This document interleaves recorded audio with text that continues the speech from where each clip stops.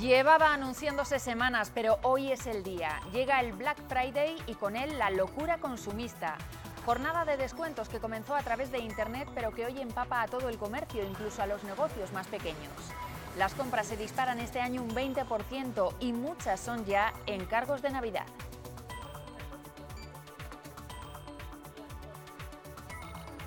Me gustaría más que la idea fuera española, porque ya está bien, ¿no? Pero bueno, si es americana y es más barato, ya está. En internet se agota todo súper rápido.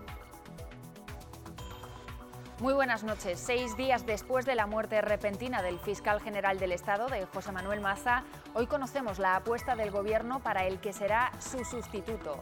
Es magistrado del Tribunal Supremo, palentino, y se llama Julián Sánchez Melgar. El Consejo de Ministros ya ha hecho la propuesta formalmente, así que dentro de dos o tres semanas se hará efectiva, porque Melgar cumple con todos los requisitos necesarios. El futuro fiscal general pertenece a la misma sala que Maza, fue ponente de la doctrina Parot y en su carrera judicial ha presidido la audiencia de Ávila. Nuevo asesinato machista en España y ya van 45. Un hombre ha matado a su exmujer en Castellón y después se ha suicidado. El presidente Rajoy ha dicho hoy que toda la sociedad debe estar vigilante ante el maltrato. Lo ha hecho en la entrega de unos galardones donde se ha reconocido la labor del jefe de policía de Castilla y León por impulsar el sistema Biogen de protección a la víctima. Ya se ha definido como el atentado más sangriento en la historia reciente de Egipto. Más de 230 personas han muerto en una mezquita del Sinaí. Los atacantes colocaron bombas a las puertas del templo y después comenzaron a disparar a todos aquellos que intentaban huir de la masacre. Hay al menos 235 muertos y más de un centenar de heridos. De momento nadie ha reclamado la autoría del atentado y el gobierno egipcio se ha reunido de urgencia para abordar el asunto. La próxima edición de las Edades del Hombre en Aguilar de Campo tendrá conexión directa con Madrid. En el marco de la Feria de Turismo Intur, Junta y Renfe han firmado un convenio de colaboración. El objetivo es promocionar nuestra comunidad y una de las principales actuaciones es esa. Habrá un tren que conecte Madrid con Aguilar en Palencia mientras dure la exposición de las edades del hombre. Un nuevo frente va a cruzar la comunidad esta noche y mañana nos levantaremos aún con algunas precipitaciones, pero que irán desapareciendo rápidamente. La tarde de sábado será más soleada, aunque también más fría. Las temperaturas bajan claramente en todo el territorio.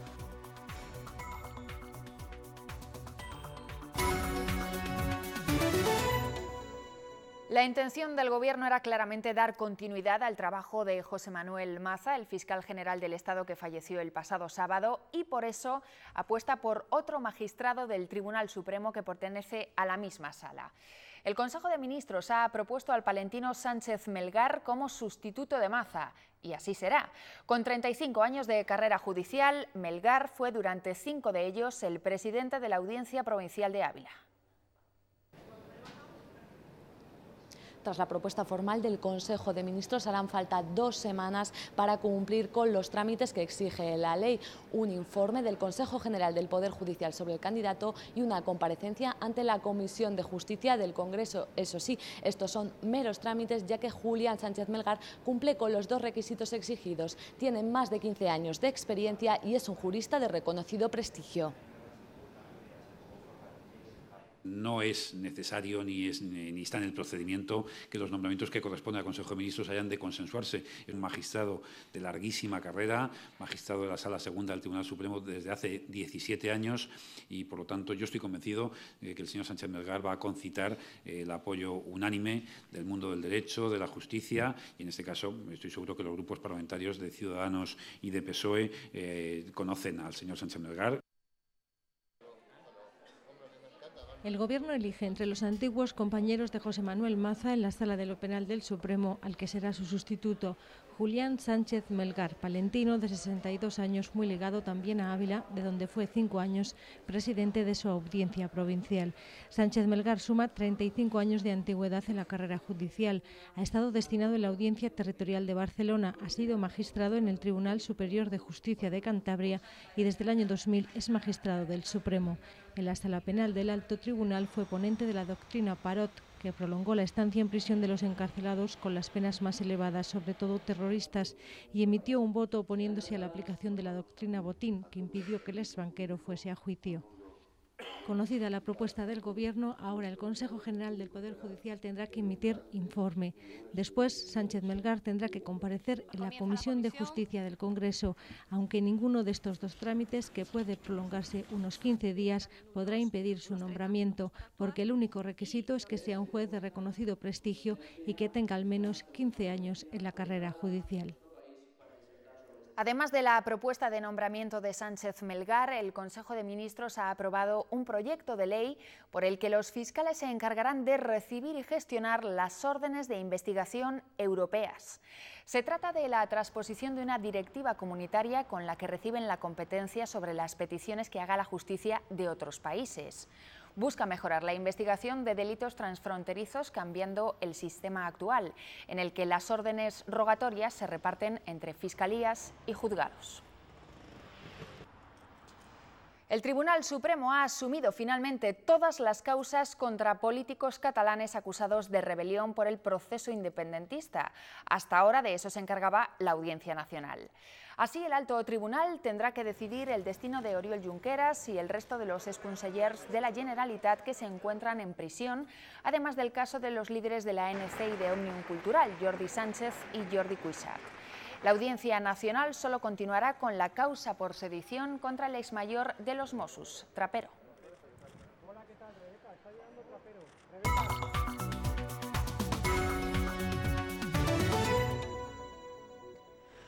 Esta grúa retiraba el coche que el presunto asesino condujo desde Alemania hasta Vinaroz, en Castellón.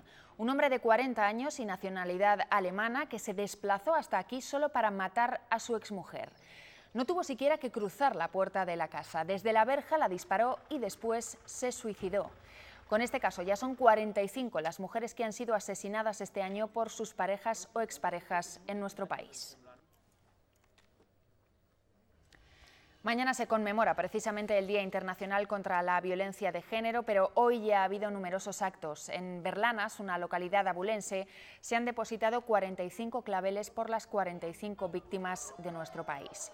No ha faltado tampoco una suelta de globos para representar la libertad de los seres humanos.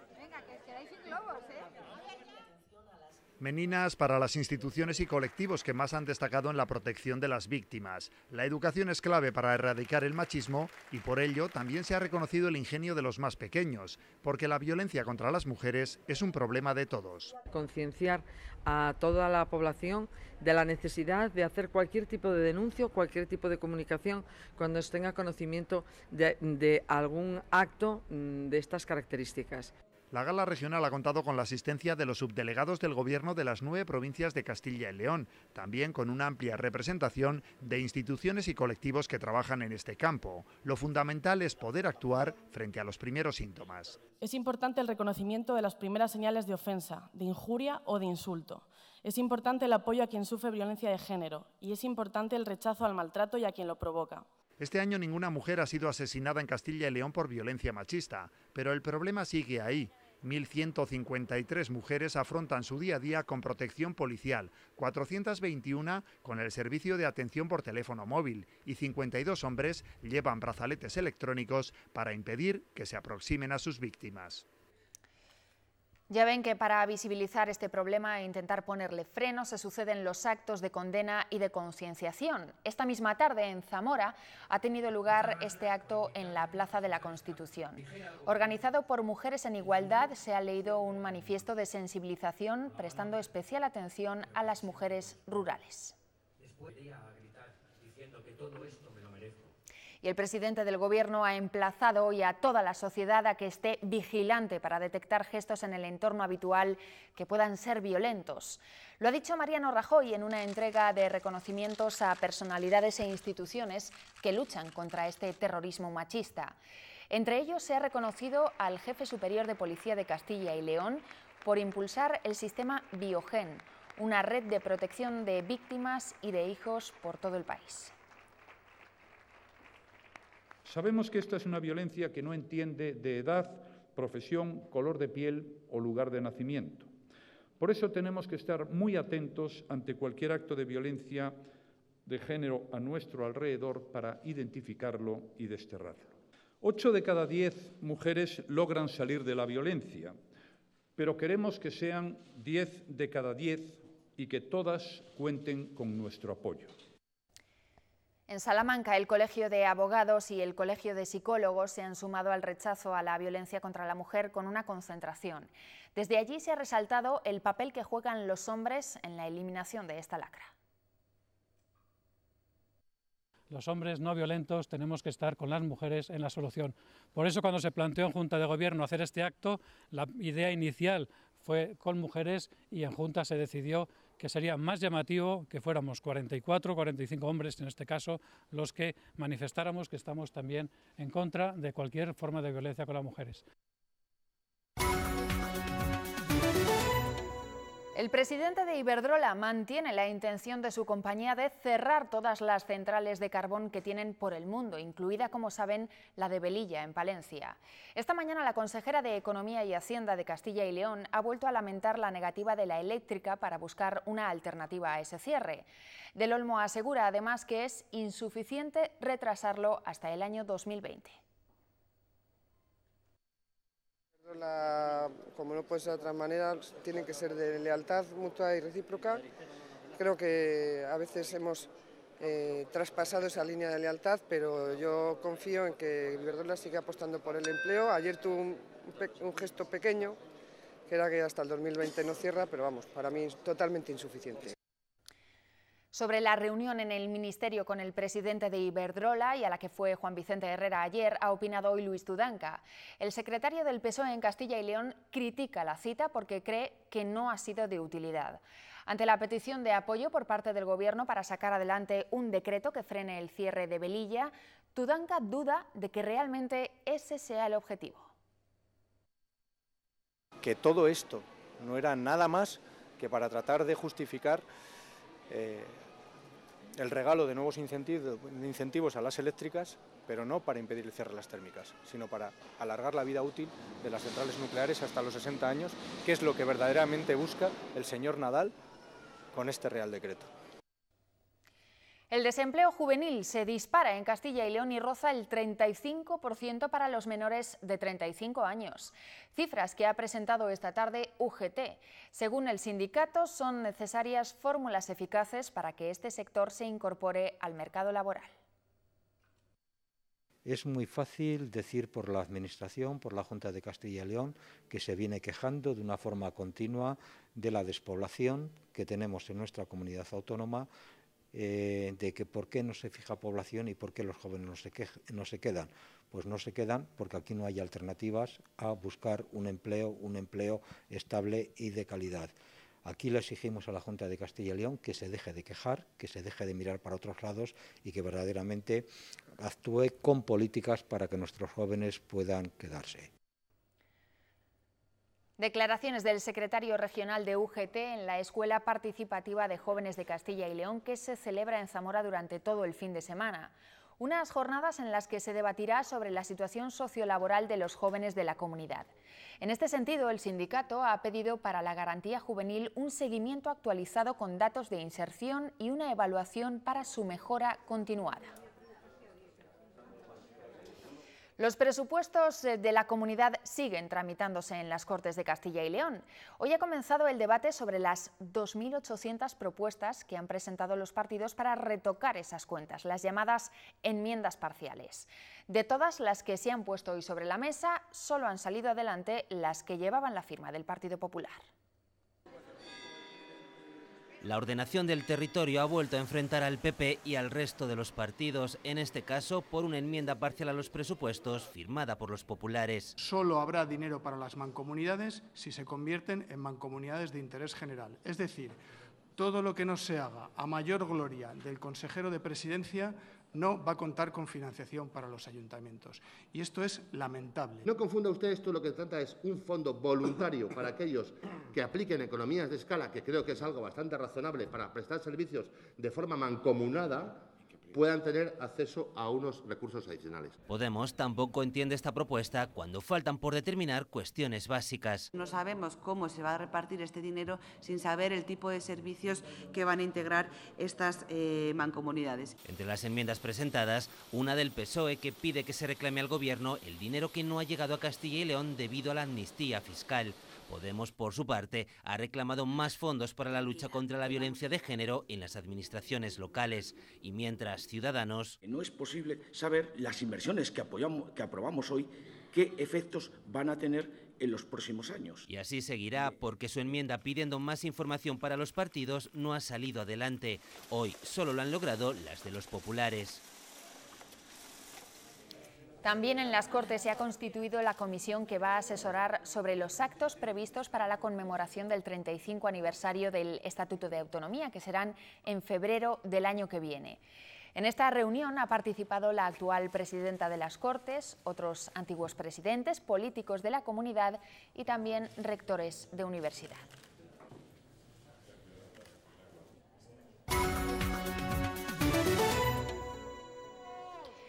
Es la metáfora del día. Pensamos demasiado en comprar o, visto de otro modo, el consumismo nos ha sorbido el seso. Dos actores, desesperados por encontrar más y más ofertas, han sorprendido a los compradores en el centro de Madrid y tal vez les hayan hecho reflexionar. Greenpeace está detrás de esta acción para recordarnos que el consumo voraz no nos hace felices, sino todo lo contrario, y que el Black Friday se nos ha ido de las manos.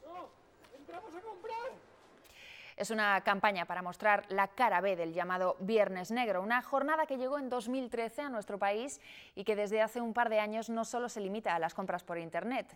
Los descuentos ya se aplican en las tiendas tradicionales y hasta los negocios más pequeños hacen sus ofertas.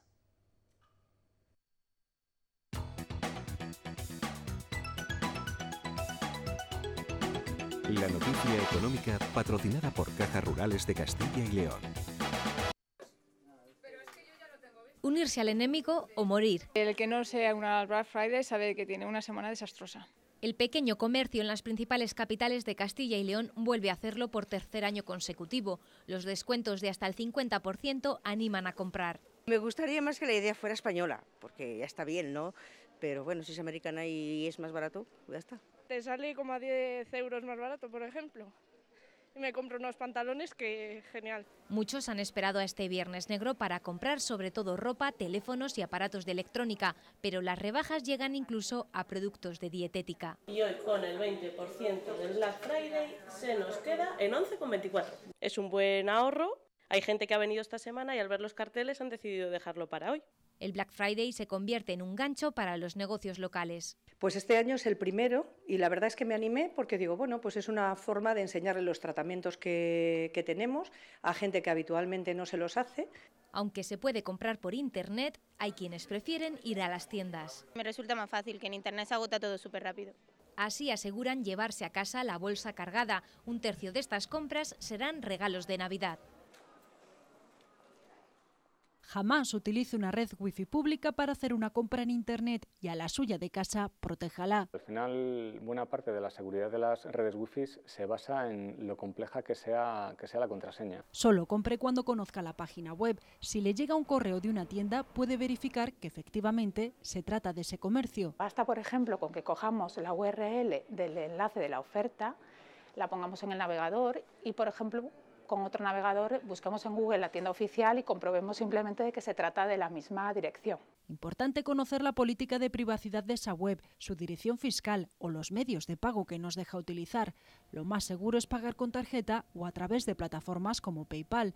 Evite abonar el dinero en efectivo. Y cuando vamos ya a dar los datos de la tarjeta, debemos verificar que estamos en una conexión cifrada segura, es decir, que esos datos bancarios se envían de forma segura, bien a través de una pasarela de un banco o a través de la tienda pero de esa forma totalmente segura con el candadito verde cifrado de la tienda. Normalmente me ha ido todo bien, o sea, no he tenido ningún problema ni, ni me han estafado de momento, vamos.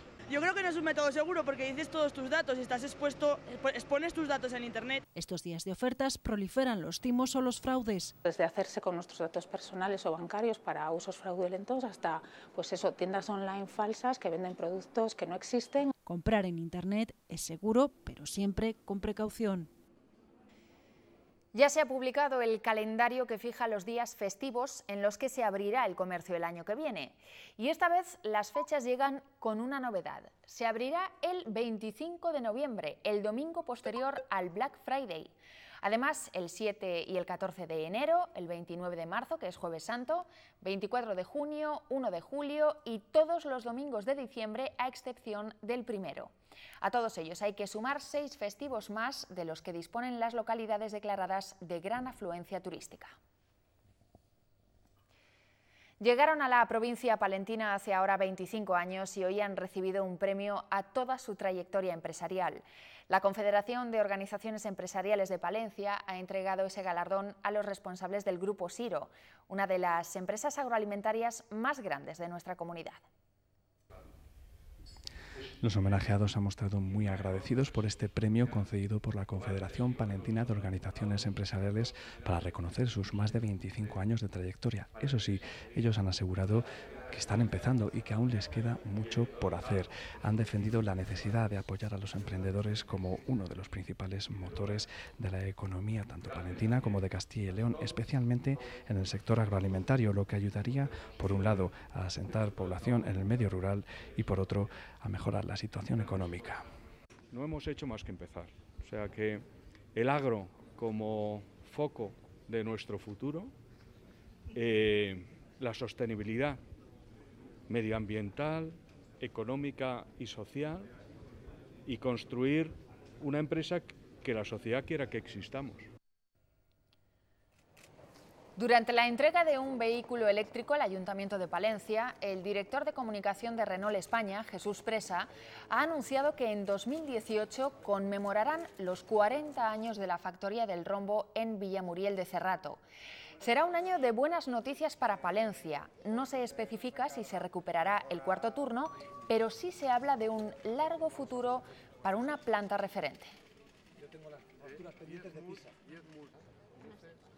Hablaremos de muchas cosas durante el año 2018, pero te puedo garantizar que si las cosas continúan bien, la, la fábrica de Palencia tiene para muchos, muchos años.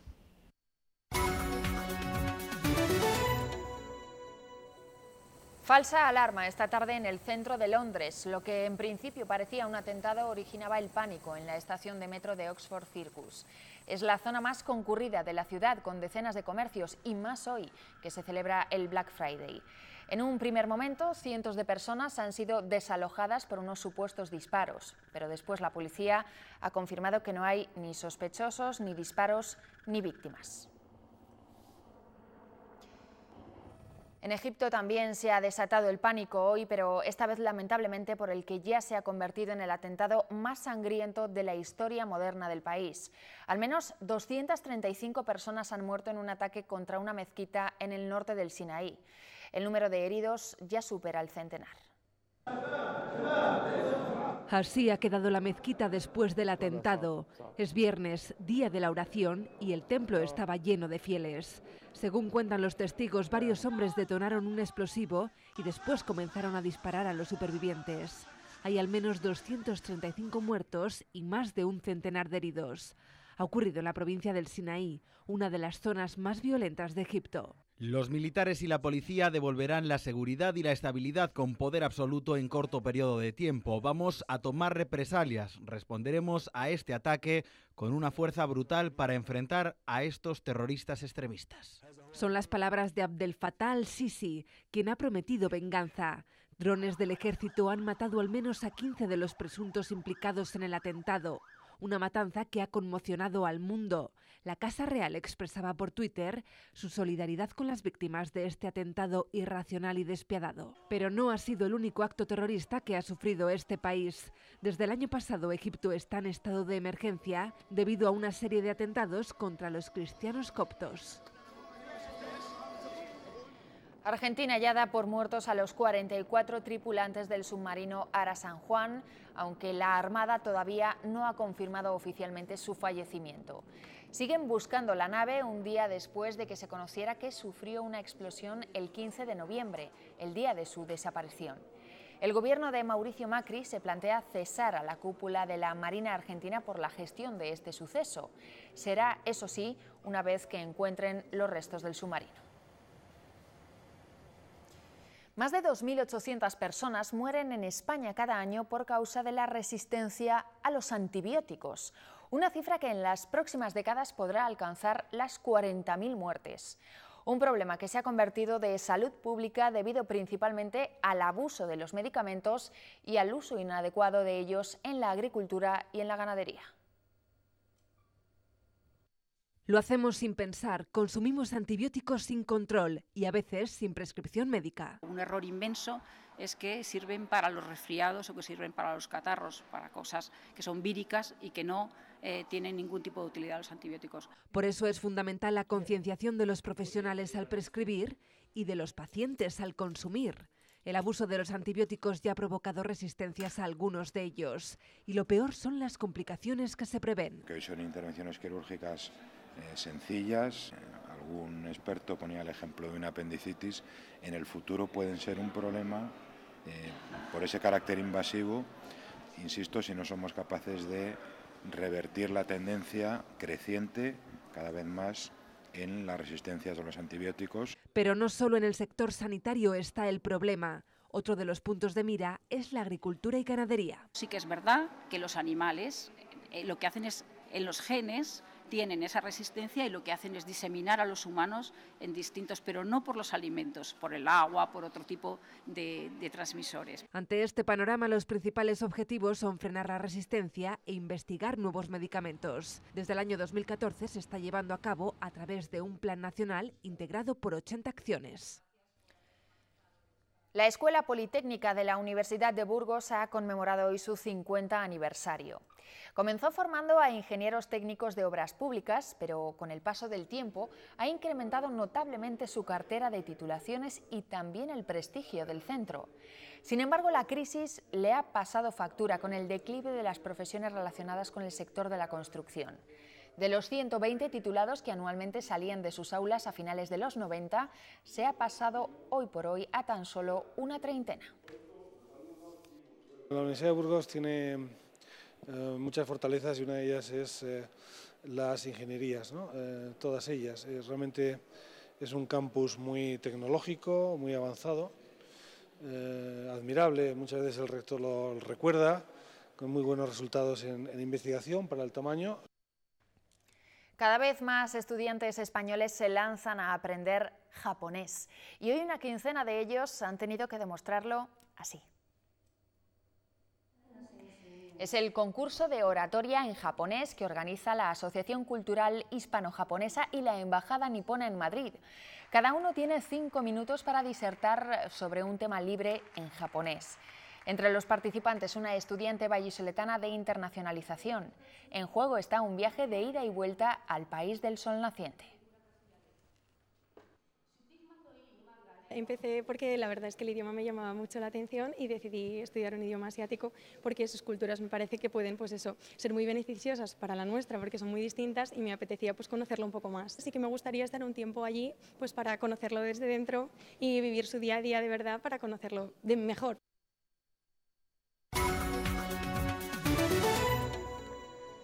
En la Feria de Turismo Intur, estas empanadillas hindúes y otros pinchos tradicionales del país invitado han servido como lazo para acercar su gastronomía a nuestra región.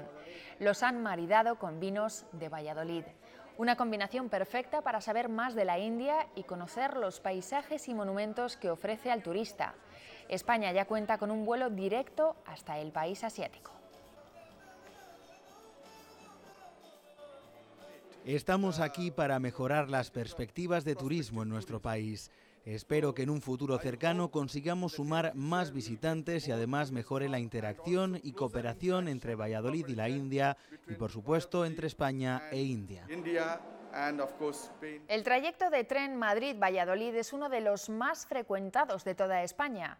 Así lo ha asegurado hoy en Intur el presidente de Renfe. En su compromiso por reforzar el turismo de interior de Castilla y León, la compañía ha firmado un convenio de colaboración con la Junta.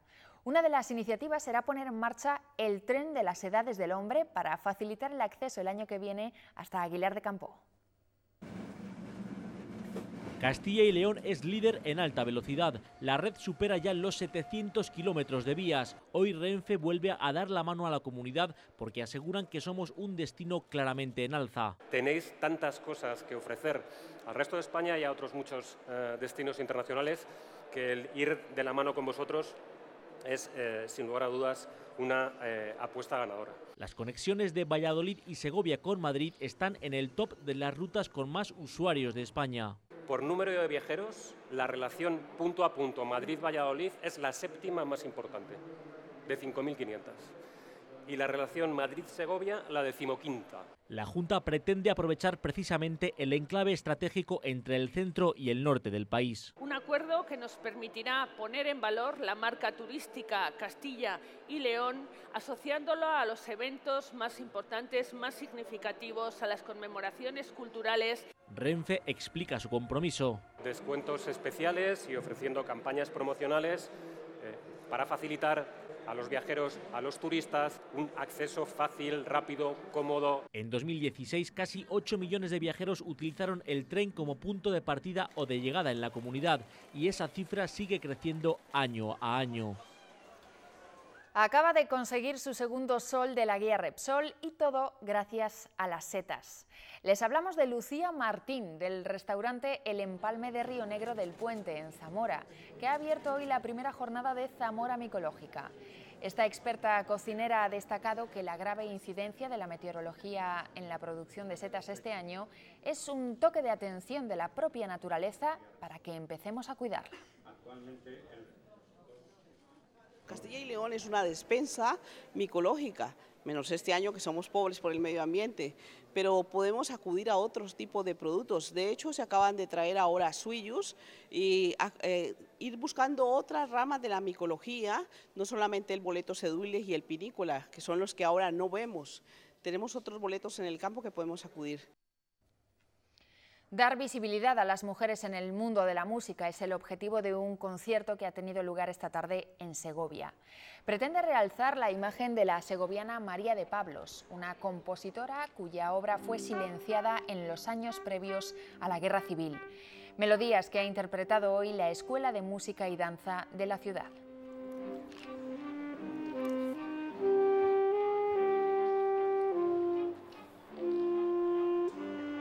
Los ministerios de Exteriores y de Defensa han recibido ataques cibernéticos, pero no han afectado a información sensible. Lo ha negado tajantemente hoy el director del CNI, Félix Sanz Roldán, de visita en Astorga, donde ha recibido un reconocimiento de la ciudad y el premio del Faro Astorgano. Allí el jefe de la inteligencia española también ha matizado que durante el conflicto catalán no ha habido ciberataques, pero sí manipulación desde las redes sociales procedentes de Rusia y que podrían repetirse durante las elecciones del 21D. Nadie puede asegurar que sea desde el Estado. Si va a pasar algo, pues bueno, las redes sociales seguirán abiertas a todo el mundo, porque todos nosotros hemos querido que las cosas sean así.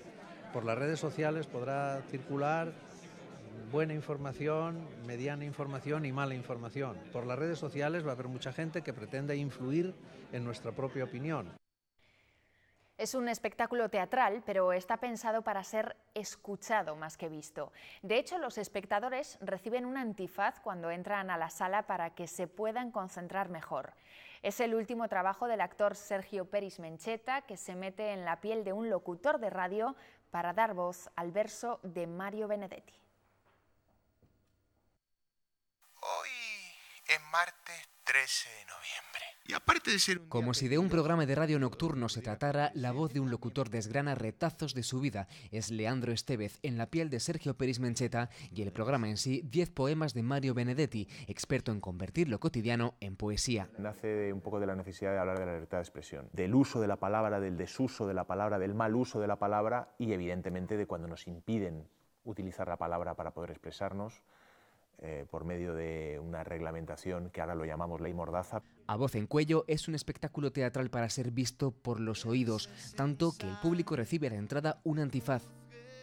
Oscuridad e intimidad para centrarse en la palabra y en los versos musicados en directo. Nos permite imaginar todo lo que se está contando, hacemos nuestra propia novela, nuestra propia película interna, y eso creo que para mí es el paradigma del teatro, ¿no? el, es el lugar donde el público hace mucho trabajo eh, desarrolla la imaginación, se va, viaja con, con, la imaginación. ¿no? En Valladolid, el cantante local José Carreño pondrá música al poema Defender la Alegría, en una función que defiende la palabra en tiempos de medias verdades y lenguaje políticamente correcto.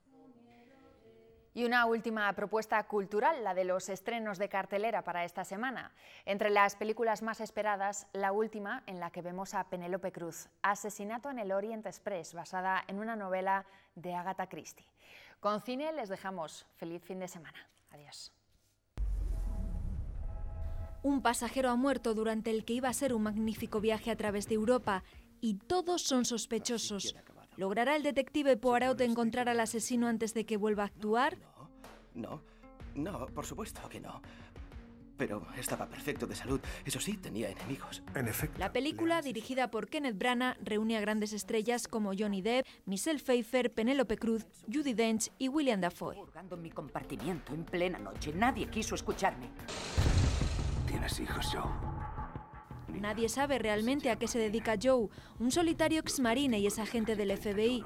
Su tiempo lo pasa salvando mujeres que son explotadas sexualmente, aunque para ello utilice métodos poco ortodoxos. Me ha dicho que eres cruel.